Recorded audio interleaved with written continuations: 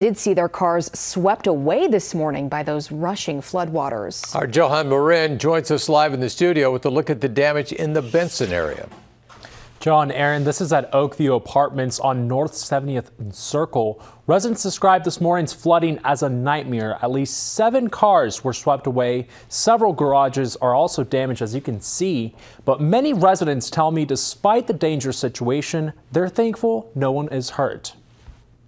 Hours after a severe storm flooded the area, water still filled the Oakview Apartments parking lot. It was just unreal how much water. Deb Tiemann saw the situation unfold in a matter of minutes. The water was coming in, that garage open, and it was all the way to the top coming in. Then I saw the cars be like bumper cars and just float everywhere. Several of those cars now sit by the creek next to the complex.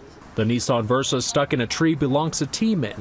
When you see your car float away, that's a nightmare. Making matters worse, Tiemann moved in 21 days ago. Her personal belongings were still in one of the garages damaged in the storm. I lost everything in my garage down there. It's in the creek and on the trees. Eve Puro tells 6 News she was planning to move out today. That, that was our car.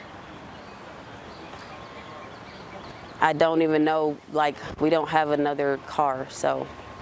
Puro and Tiemann contacted the apartment for help, but did not get a quick response, leaving them both stuck, waiting for answers. We don't know really what to do yet.